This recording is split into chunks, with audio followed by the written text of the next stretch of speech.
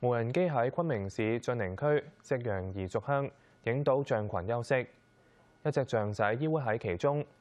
大約十五隻野生亞洲象，四月從西雙版納國家級自然保護區一路北上，大約五百公里進入昆明。象群星期二向西南方迂迴遷移大一點八公里，但由於當地持續係有雷雨，監測相對係困難。目前當局已經疏散附近嘅民眾，以確保人同象群都係安全。